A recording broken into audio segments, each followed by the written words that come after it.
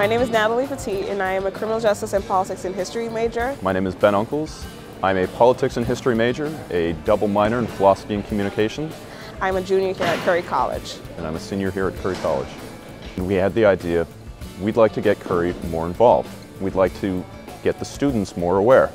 And so we thought, wouldn't it be great if we could get the candidates? Getting the candidates here on Curry was a, a great challenge. We had some positive feedback from their campaigns, and so we thought, what else can we do with this? We let the, you know, the administration know that we want to get a debate here on campus. Flash forward to uh, right now, and here we are.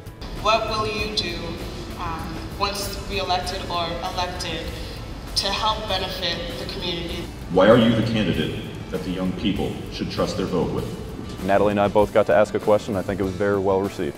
Um, to asking, asking a question to the candidates was it was a bit nerve-wracking, but it was exciting at the same time too. So it was great. It was so much fun. So it wasn't just the Curry College hosting it, but it was the Politics and History Club. So getting to meet them firsthand, shaking their hands was a distinguished pleasure and honor. We couldn't have been happier with how it turned out.